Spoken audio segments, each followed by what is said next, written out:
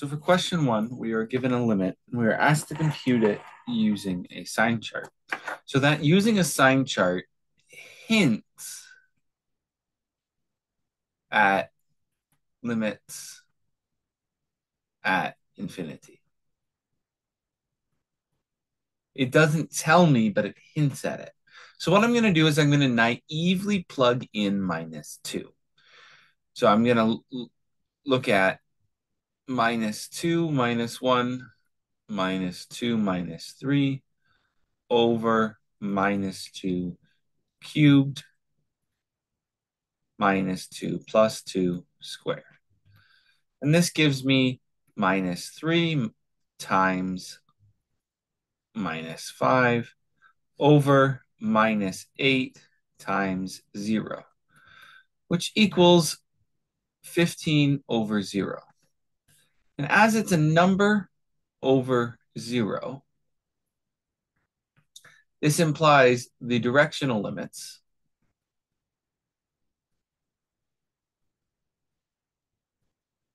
are plus or minus infinity. I don't know which one, but it's plus or minus infinity. So because it's plus or minus infinity, I'm going to create a sign chart to determine the directional limits. And now I look at the sign chart. Because it's already factored, I can look at each of my pieces. Okay. And now the factors here, it tells me, this tells me it is one. This tells me three. This tells me zero. And this tells me minus two. So I make the chart about the points minus 2, 0, 1, 3, with x minus 1, x minus 3, x cubed, and x plus 2 squared. Okay, and now I'm going to complete the sign chart the way that I know how to do it. However you complete your sign chart, that's perfectly okay. Right end behavior is positive, left end behavior is negative. I change and I change at one. Right end behavior is positive, left end behavior is negative, so I change and I change at three. Right end behavior is positive, left end behavior is negative, so I change and I change at zero. Right end behavior is positive, left end behavior is positive, so I don't change. And this gives me my sign chart, which I complete by doing sign multiplication.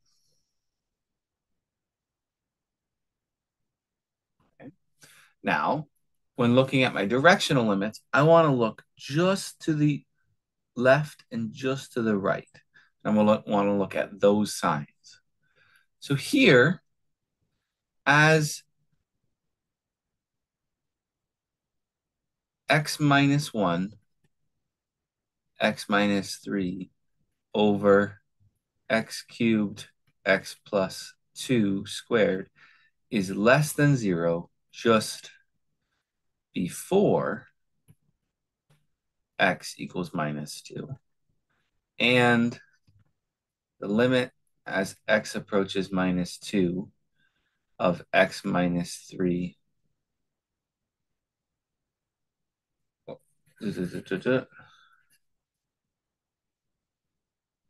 and we got the form number over 0, the limit as x approaches minus 2 from the negative of x minus 1, x minus 3 over x cubed, x plus 2 squared equals negative infinity. And as x minus 1 x minus 3 over x cubed x plus 2 squared is less than 0 just after x equals minus 2. And we got the form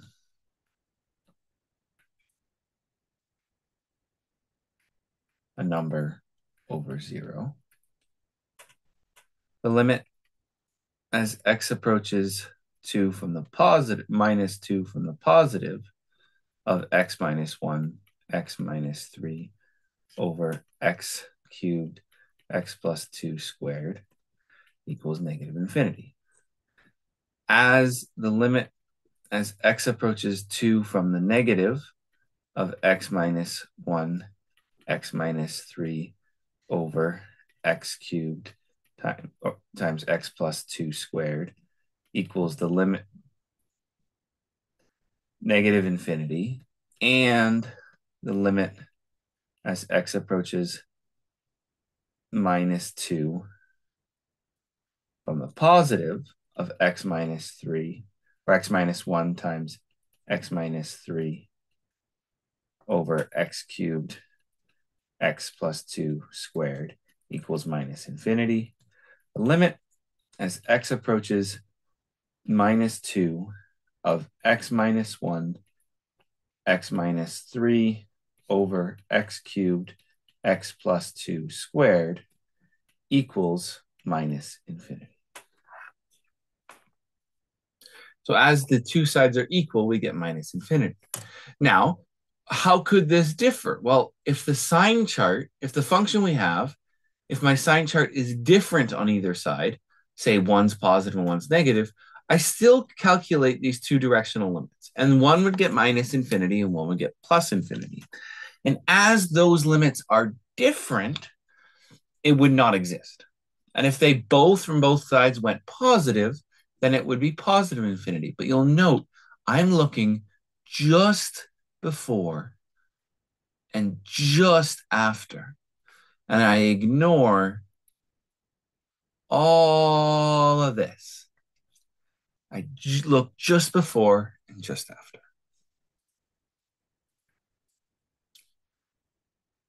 Now we have a compute the following limit. Carefully explain all of your steps. So here, if I naively plugging in,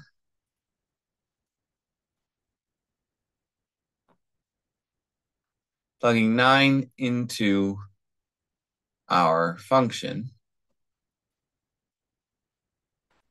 gives 1 over root 3 minus 1 over 3 over 9 minus 9, or root 9, sorry, equals 1 over 3 minus 1 over 3 divided by 0, which equals 0 over 0, which is an indeterminate form.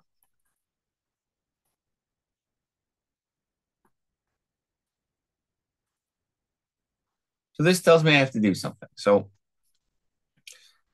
getting a common denominator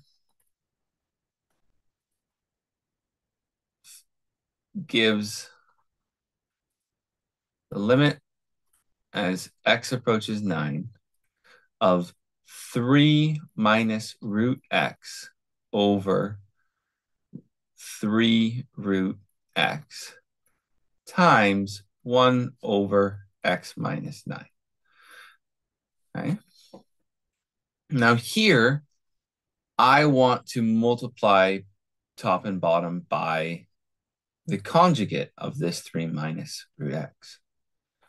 So this equals the limit as x approaches 9 of 3 minus root x over 3 minus root x times 3 plus root x over 3 plus root x times 1 over x minus 9.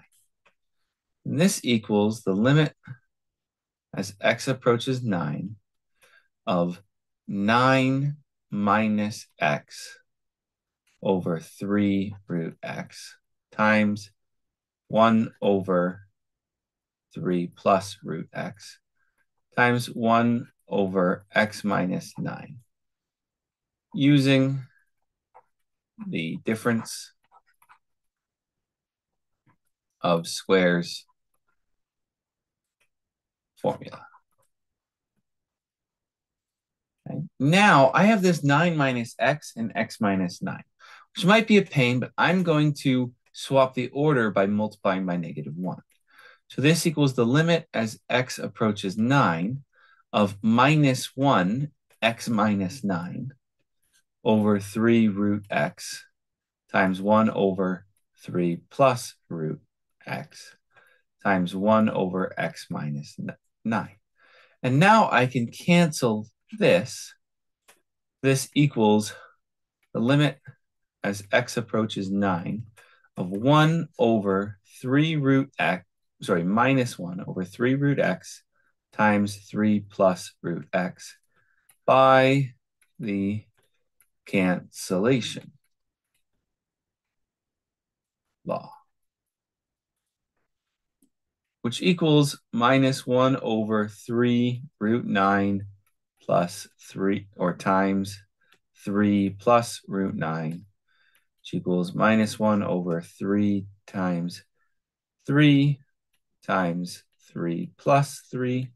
This is by direct substitution, by the direct subst substitution property,